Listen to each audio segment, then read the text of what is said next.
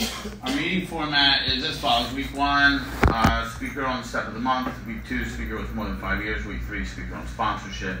We're in week four, so I got a speaker on NA literature. Um, I brought my man Sean. Sean was one of those people that when I first came in the rooms, um, he kind of took me under his wing. He had a few months more than me, and um, he made me feel comfortable, introduced me to a bunch of people, um, and then um, I think you picked up an 18 month medallion on Xanax. Am I right? Hell yeah, I did. Hell yeah, I did. And we all knew. Uh, we all knew something was wrong. But it was amazing. Because even in the using addict, the program of Narcotics Anonymous was still working. Even, you know, this is how powerful this shit is. We got a room full of people tonight trying to recover, and it's fucking amazing. Um, I just hope that you guys can get out of this guy, because you're going to have five years clean in how long? Mm, six days. In six days, you're going to have five years. Yeah, so hopefully you guys can come back, pick up an 18 month medallion.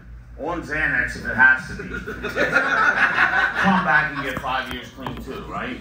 Um, he's going to speak on literature for us, so help me welcome my man, my brother, Sean.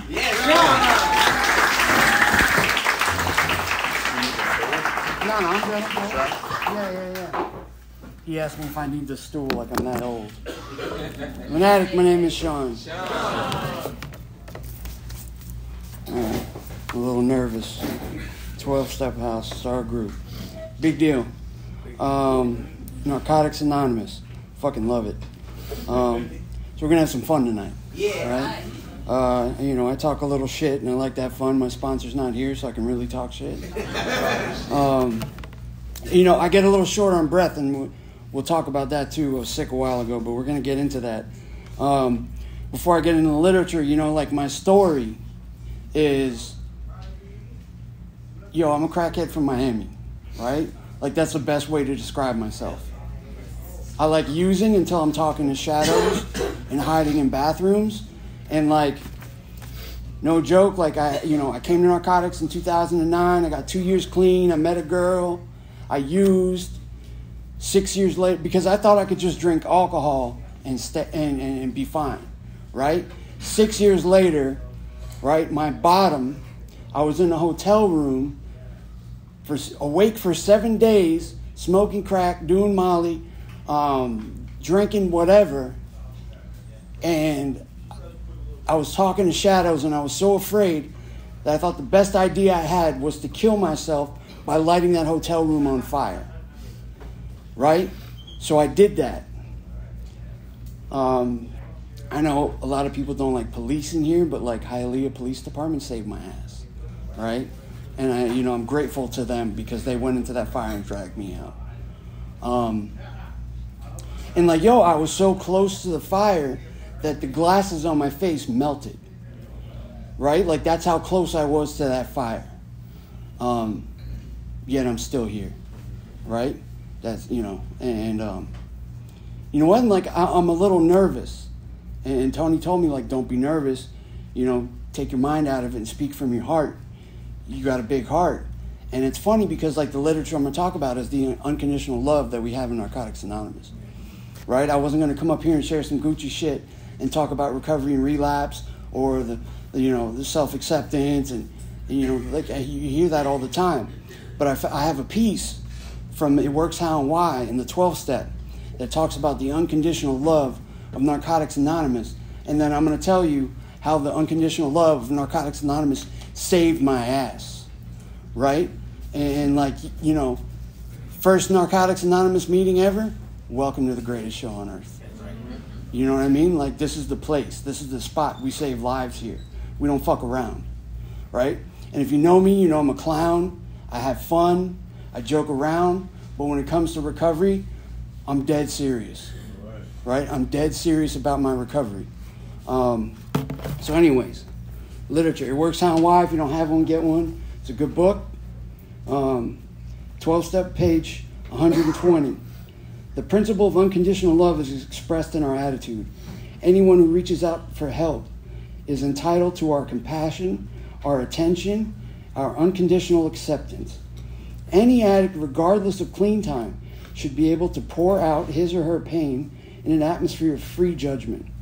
Most of us have found that we are able to feel great empathy for those who suffer from our disease, precisely because it is our disease.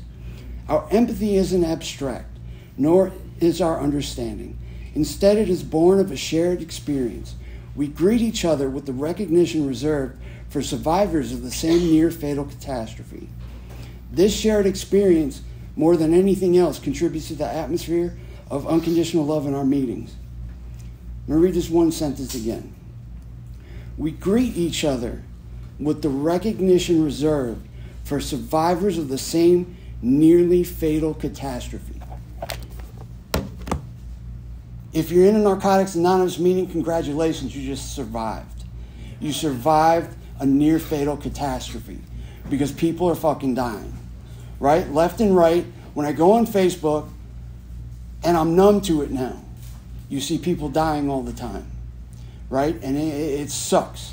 And I see my friends, and I see them go out and use, and, and you know, like I don't judge them like I love them, right? Because after I had two years clean, and I, I, I relapsed six years, come back, right? Came back so many times in those six years that I collected 36 white key tags, right? So 36 white key tags later, I'm coming up on five years. So if you're beating yourself up for relapsing, fuck that. You made it back. You survived. Right? You know how many times I fucking relapsed and I came back crying to Narcotics Anonymous about how I just wanted to be home? And like that's what I love about being in here. I see the faces of Narcotics Anonymous. I see the pain. I see the suffering. I see the joy. I see the love. Right? And like that's what we see in Narcotics Anonymous because of that unconditional love. Right? I'll tell you guys about my first Narcotics Anonymous meeting ever. Um, I went to a clubhouse down in Miami called Back on Track. It's not there anymore. Um, if you know about it, that was the spot. Um, and I went into a meeting and I sat down. And it was the first meeting I'd ever been to, and I'm detoxing, kicking. I raised my hand and I said, You know, I'm Sean, and I, I have a problem with, with you know, cocaine and, and pills. And the guy turns around and looks at me, old timer. Oh, there's a meeting for that. You're in the wrong place. I said, What the fuck? So I left the meeting, and I've later come to find out it was an AA meeting. And I'm not knocking the other fellowship. You will never hear me knock anyone who's trying to save someone's life. Doesn't matter what fucking fellowship you're in. I'm in NA. I have an NA sponsor. I work NA steps. I speak the NA language. I love this fellowship and I love this program. I work steps and I work traditions with my sponsor. Right? And I'm slacking on my step work, and I can be honest about that because I need to get on top of that shit because my step work is what's going to keep me clean. I can go to 100 meetings and still be miserable because I'm not working steps, right? Like the changes in the steps. This is a 12 step program, and it's a painful fucking thing to be in a 12 step program and not work any steps. It's a painful fucking thing. And I know it because I've been there and I've done that. Like, I've done everything you could possibly imagine in this program wrong. And I've done a hundred things right too.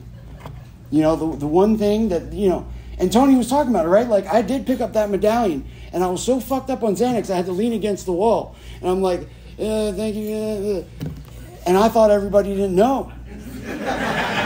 right? Like, you guys know, you can, we can smell a dog in here. You know what I mean? A dog can smell a dog in Narcotics Anonymous. We fucking know if you're high, but we still love you. You know what I mean? I see people coming to meetings and, and they're high, and I, said I was at a meeting the other day, and this kid was, I mean, yo, you could smell it on him. And, you know, he's, I got 22 days clean. I just hugged him, man. You just got to hug these people. You got to love people. Hug the newcomer, hug the old timer, right? Just because she has 11 years doesn't mean she can't go through shit. She might need a hug. That's right. She might need a hug. Hug somebody in Narcotics Anonymous. Mm. You know, I'll tell you this.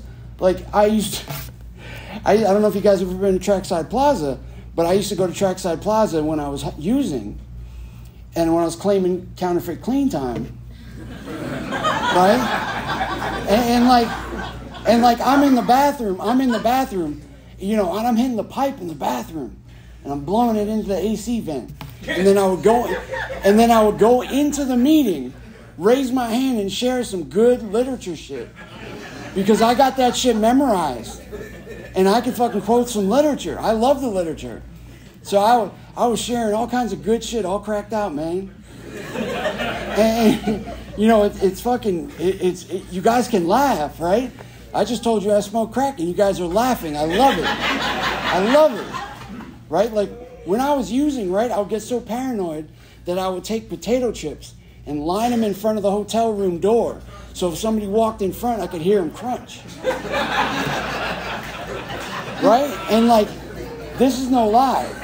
No lie. One time, one time I heard the crunching. And I hopped out the bathroom window and I'm fucking running down Hollywood, running down US 1 in my boxers and a wife beater. And um, I went back to the hotel and I said, man, what happened? And my homegirl was in there and she's like, yo, it was a dog. the fucking dog was eating the potato chips. You know, so like I said, we're gonna have some fun in here. You know, I came to share and I came to share a Narcotics Anonymous message. And the Narcotics Anonymous message Part of that is we can have fun in recovery. Part of that is we can smile. Yo, if you see my man Marvin at the conventions, boy, he's lit. It's great. You know what I mean? But like, we have a good time. You know, we just had a convention, South Broward, shout out. You know what I mean? That's my area. We, you know, we, we did a big thing. And um, the convention was amazing. We were all dressed up in Halloween costumes. I was a fat pirate. Tony! Right? And, uh, you know, Tony did a great job. He does service, man. He deserves. I take a little credit for his recovery. You know what I mean? I introduce him to people. but here's the thing. Here's the thing. I'm introducing him to people, but I'm using. I'm driving him around to meetings, but I'm using. I used to carry around a pocket of change so they couldn't hear the pill bottle in my pocket rattling. Like that worked. Do you know what I mean? Like that that's that's the shit I did. You know, that that's the shit I did. But back to the unconditional love. Back when I was when I was using and I was going to the meetings, and everybody was going to my sponsor and being like, even Tony was one of them. You know, what's wrong with Sean? Is is he all right? And my sponsor would say, allow him his process. Allow him his process. We got to allow people their process. Recovery, we cannot force recovery on people. I know I can't. I can't grab somebody and be like, oh, you got to recover. Trust me, I want to shake some people very close to me and do that but I can't. Right? All I can do is love people. Right? And like if you know me, like I'm all about the love. I'm all about the love. You see me at a convention, I got that Cuban coffee. Yeah, that's right. You know what I mean? Right. Everybody knows me at the convention, like I got Cuban coffee for you, and I keep everybody hopping. Yeah.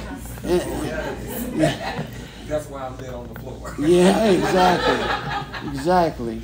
But like I said, you know, we're here to have fun. We're here to talk about recovery. But um, that first meeting I went to, man, and that guy told me there was a meeting for that, and I stumbled out of that meeting and I was crying. And uh, this guy was coming up the stairs, and you know, he said, "Are you all right? Do you, you need anything?" And I told him what happened, and he said, "No, no, no, come with me, come with me. Sit down, drink a cup of coffee. I got you." Drank the coffee. A new meeting started, and I went in there, and it was my first Narcotics Anonymous meeting I'd ever been to. Right, and those people allowed me to detox on their couch, throwing up in garbage cans, basically staying in meetings, meeting after meeting after meeting. Um, and they loved me. They didn't care. They didn't care that I smelled like shit, I looked like shit, and I probably shit myself. You know, and I'm not. That's that's that's where I was. That's where I was. I was broken. And um, talk about why you know that's why I relapsed. For two years clean and a day I used. Like the day after I got two years clean, I thought I got this and I used because I forgot about Narcotics Anonymous. Um, but but in those six years, man, you know, you talk about unconditional love. I remember there was one day when I man, we were just talking about this in the car on the ride over, man. I was I was on that flakka, and um,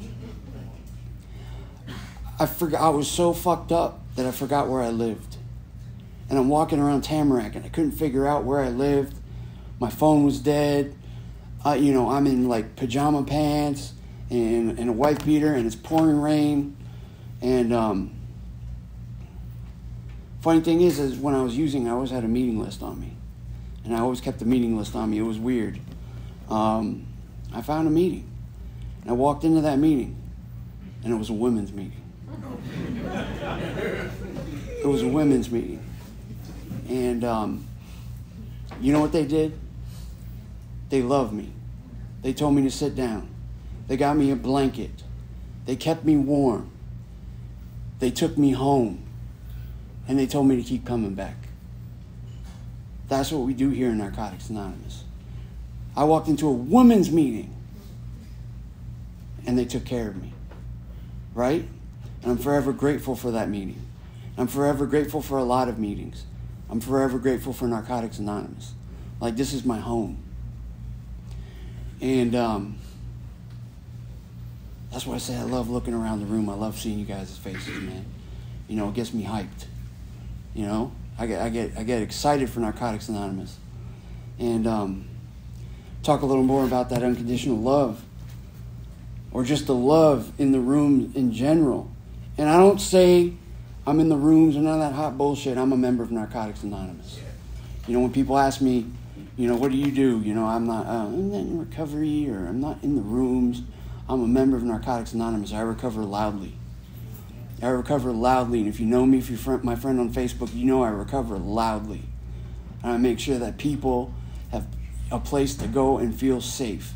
I will show up, I will pick up newcomers, I will take them out, and I'm starting to do that again. And I kind of drifted away from NA, but I'm, I'm starting to feel my passion for it again.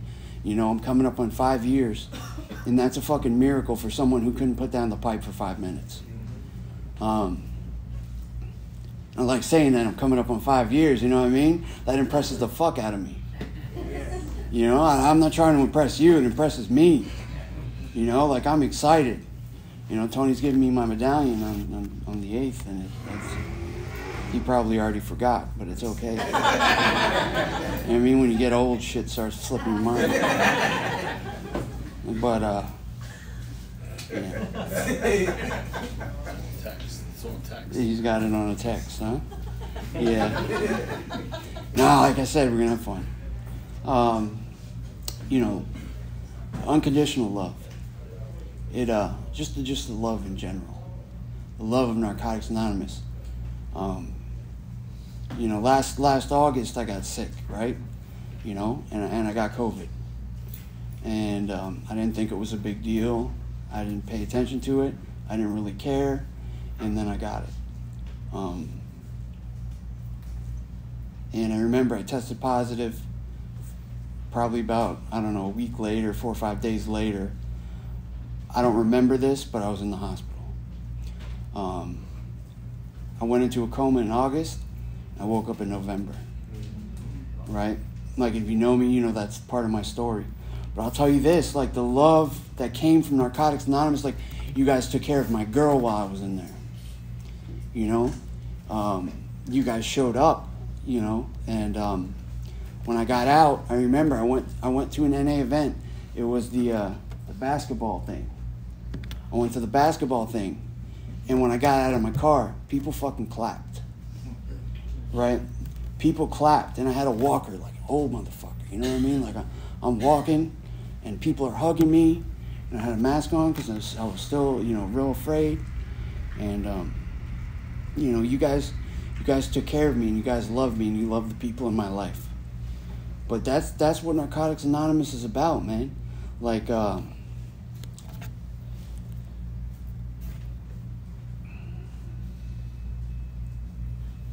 Narcotics Anonymous saved my life.